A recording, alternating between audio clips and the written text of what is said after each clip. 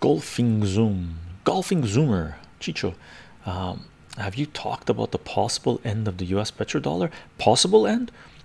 We haven't talked we've talked about it many times in the past. I wouldn't say it's a possible end. I think we are seeing the end of the hegemonic petro uh, petrodollar right? So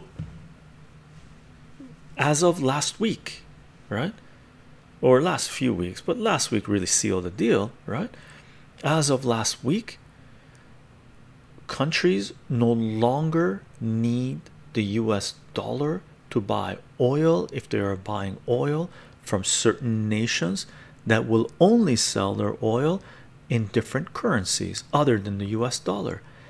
Game over, it's done, right? The dam broke, right? So, is it going to be a mass flood? Take over everything? Is it controlled demolition? Is, is it a leak and then they're going to try to plug it up? But the plugging up has been going on for a while, right? Look into why Venezuela bad, Iran bad, Libya bad, Syria bad. Look into those things, right? Well, they're bad was because they were deciding to sell oil and the resources outside of the US dollar, right? US put an embargo on them, sanctions on them, destroyed some of them, but they can't do that to Russia, right? They can't do that to Russia. Russian ruble was one US dollar before the war started in Ukraine, right? One US dollar could have gotten you 75, let's say, rubles, right? And then the war happened, invasion, incursion, whatever you want to call it, into Ukraine, right? All of a sudden, it went from one to 150 rubles, right? The Western world was celebrating, yes, we're going to collapse Russia's economy. Uh, there's going to be a color revolution in Russia. Putin's going to get ousted. Uh, you know, we win. La la la la la la, right? These idiots are playing tic tac toe. Russians are sitting there going, These idiots are playing tic tac toe. like, that's what they were thinking. Oh, okay. Meanwhile, they don't, they don't consider that for the last few years, right? Russia has been cutting deals with multiple nations and has already prepped for all this, buying gold up the yin yang, right?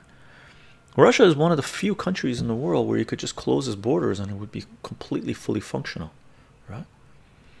It wouldn't implode, right? So, what happens? Well, Russia comes out and says this and says this, starts dealing with China. Oh, news comes out of China, news comes out of India, news comes out of Pakistan, right? News comes out of South America, news comes out of Africa, news comes out of the Middle East, right? Oh, everyone's willing to deal with Russia. Not only that, Russia can will now only accept uh, oil, gas, payments in rubles or equivalent of gold and i think it's five pegged at 5000 rubles per gram of gold now right? So any nation that wants to buy energy from russia has to pay in rubles or gold. There goes the us dollar. Not only that russia is announcing that now that also applies to their other resources including rare earth elements minerals, commodities, wheat, most likely. All of these things you can now only buy from Russia in rubles or gold, which makes sense. Is their currency? Why would they have to go through the US dollar, right? By the way, this wasn't their doing. Russia did Russia was happy with the system that was existed before. But what happened is the United States and the West, in their infinite stupidity, decided to uh, use their currencies as an instrument of war, right? And the SWIFT system as an instrument of war, right? So they were conducting economic warfare on Russia, but on a scale that all nations had agreed would never take place, right? It's like a ban on nuclear weapons. Nations that agree they won't use nuclear weapons in war, right? That's off the table now, by the way. Okay. So they went nuclear on the economic level. Russia went, we already figured you guys are too dumb not to do it. So Russia went click, click, click, click. All of a sudden, Russian ruble now, after all this is done, right? Russian ruble is now 1 to 82 83 rubles right? So before the war it was 1 to 75 now it's 1 to 82 83 84 85 let's say. And guaranteed it's going to get stronger and stronger okay relative to the US dollar. Checkmate. Russia just killed the US petrodollar. It's over.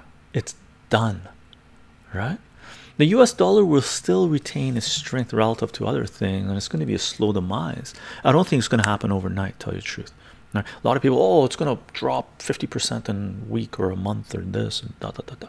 I don't think so. I think it's just going to be a slow decline. Slow decline slow decline slow decline slow decline. And at some point I think some kind of traumatic event event is going to occur and then they're going to try to make it all digital and bring it all together everyone's currencies together a basket of currencies and we'll see where it goes. It's a herculean task like that they've taken on. And as long as humanity says f you i don't think so. We're okay. If humanity buys into this digital currency that they want to release where they track everything you do including to the last bit of toilet paper you buy right so they can tax you up the yin yang right? And censor you like nothing else right? Um i hope they you know they they're not able to do what they want to do. But as far as the US petrodollar goes it's done. It's no longer the only reserve currency in the world